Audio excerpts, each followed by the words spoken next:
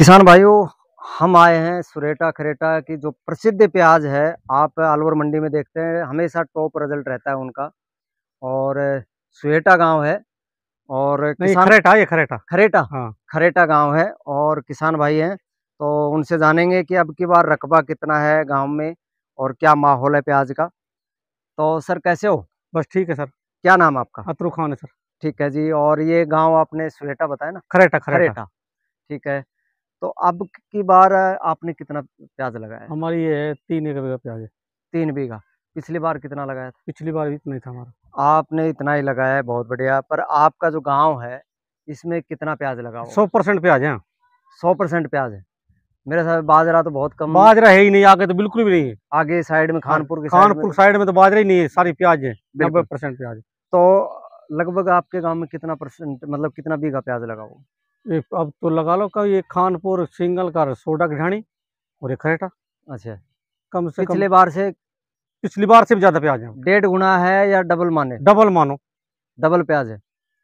और प्याज की कंडीशन भी ठीक है ठीक है हाँ अभी तो ये नॉर्मल अभी लगभग ये जो प्याज है ये कितना महीना ये महीने के हो जाएँगे एक महीने का हो गया? अभी नहीं हो अट्ठाईस तारीख होंगे। अच्छा जी। यानी कब की थी इसकी बिजाई? ये पिछली वो अट्ठाईस गई थी ना? अच्छा जी अच्छा। जब की थी ये। यानी अगस्त को। हाँ। ठीक है।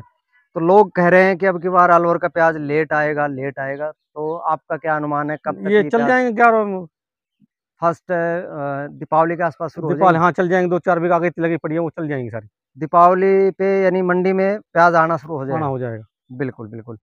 तो अभी किसी तरह का कोई रोग आ रहा है इसमें? अभी तो ये पीला पाना यही है वो सब कुछ थोड़ा बहुत तो अभी ये इसमें जैसे पानी लगेगा तो हाँ। हो। सकता है इसमें ठीक हो जाए।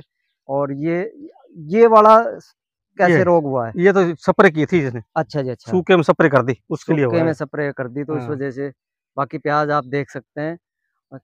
एक और बात पूछना चाहूँगा। जो इस एरिया की जो प्याज है वो कोई वरदान है क्या? या फिर मिट्टी का ये सबसे स्वेटा खरेटा में सबसे फ़र्स्ट नंबर में प्याज अलवर में यही सरनाम है। बिल्कुल क्योंकि हम जब वीडियो बनाते हैं जब बोली चलती है तो आ, सबसे ज़्यादा टॉप जो भाव रहता है इन्हीं का रहता हाँ, है। इन्हीं का रहता है।